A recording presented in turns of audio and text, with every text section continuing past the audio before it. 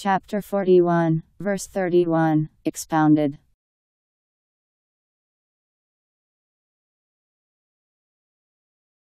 We are your protecting friends in the life of the world and in the hereafter. There ye will have all that your souls desire, and there ye will have all for which ye pray.